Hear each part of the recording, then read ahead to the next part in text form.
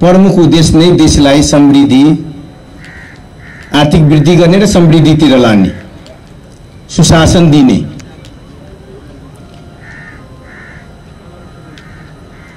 मूल लक्ष्य त्यही हो।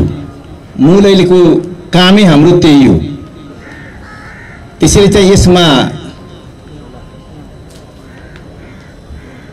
यहाँ पनि उठ्यो यो सालमा एकचोटि यस्तो कार्यक्रम गर्ने।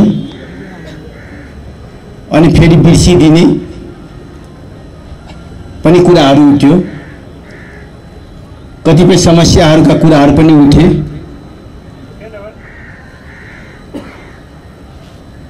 म यहाँसँग के आग्रह गर्न चाहन्छु भने विगतमा के के भयो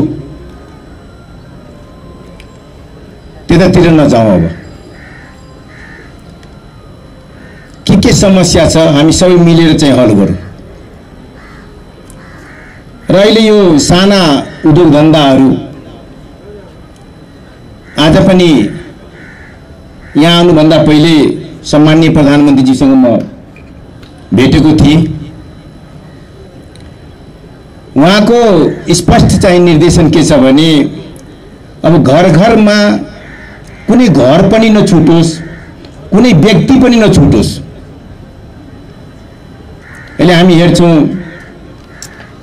कतिपय घरहरूमा महिलाहरू भात पकायो। त्यो चुल्हा चुलो चोकोको काम गर्यो त्यहाँदेखि केही काम हुँदैन पुरै बेरोजगार हुने। कोही चाहिँ मरेर पनि काम गर्दा पनि मतलब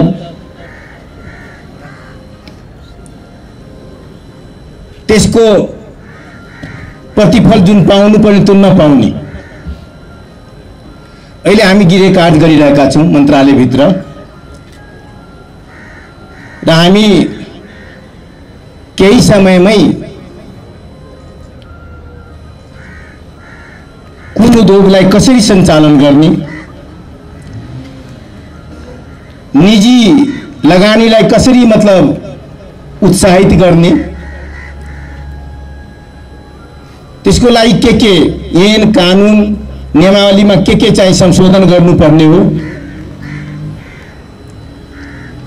अहिले चाहिँ पुरै तयारीका साथ चाहिँ त्यो कामहरू भइरहेको छ। र यसमा चाहिँ तपाईँहरूको पनि सल्लाह र सुझाव चाहिन्छ।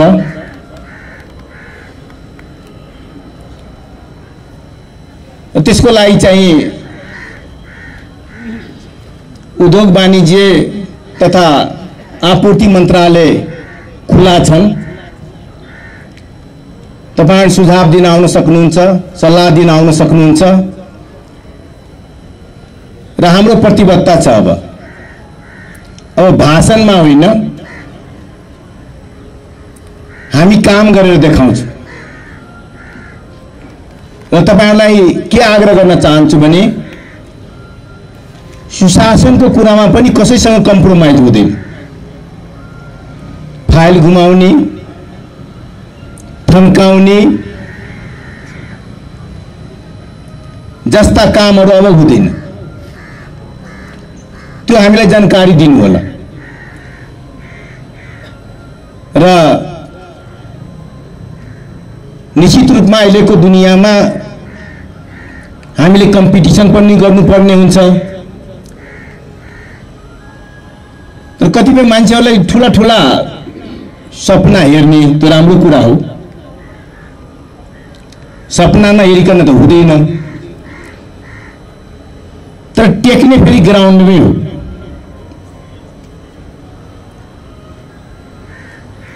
त्यो सपना पनि पुरा गर्नलाई चाहिँ हामी ग्राउन्डमा टेक्नुपर्छ। हाम्रो अवस्था के छ? हाम्रो क्षमता के छ? हाम्रो औकात के छ?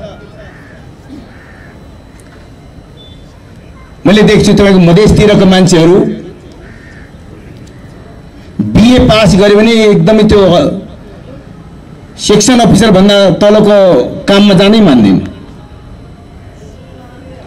तर पहाडतिरको मान्छेहरू बिए पास गरेर पनि पिउनमा पनि जागिर खान तयार हुन्छ। कम्तीमा घरमा त त्यो भार त भएन नि त। त्यो ग्राउन्डमा टेक्छ जे पाउँछ त्यसैबाट सुरुवात गर्छ। विगतमा कसैको घरमा भात पकाएका मान्छेहरू पनि सचिव भएका छन् मुख्य सचिव भएका छन्।